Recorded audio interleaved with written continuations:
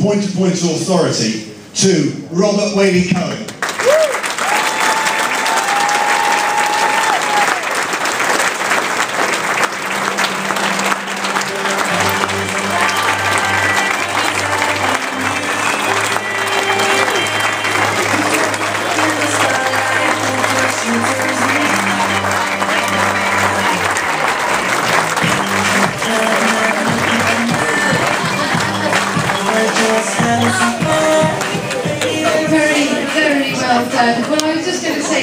To you've led from the front, and I assume that you've been so heavily involved in pointy pointing because of the love you have for the sport.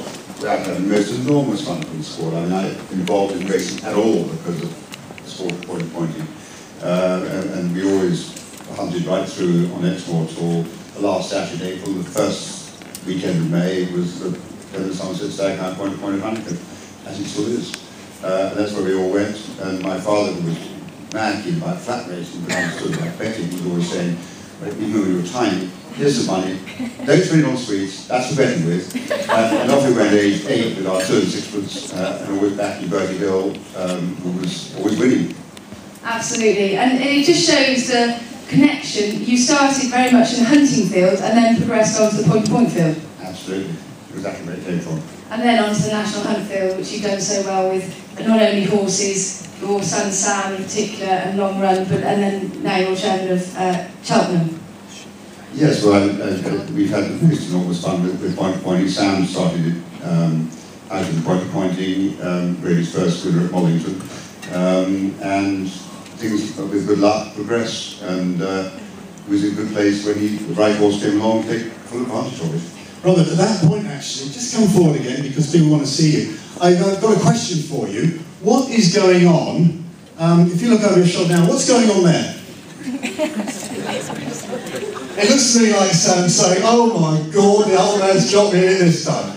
Um, I can tell you exactly what was going on there. We were about to have a uh, show, um, long run of parading at the uh, Point Point at Ashford, in the hopes that uh, a lot of people would, be very generous would enjoy seeing that and would boost the gains and the profits. I've had the misfortune to be, uh, or good luck, to be chairman of the Watch Hunt Point to Point now since 1983. So I'm quite keen to see uh, the profits as large as possible.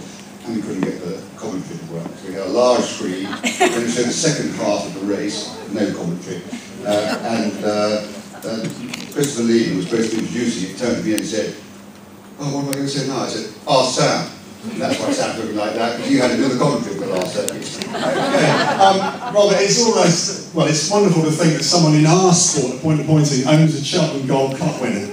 A six-year-old Cheltenham Gold Cup winner. But you also own the Grand National runner-up. How do you find these horses? Uh, that one found me. Um, and long run I found in the paddock at as, as he was the fourth uh, had out of the same mare. starting with Libertine and then Beaker, who someone you might remember,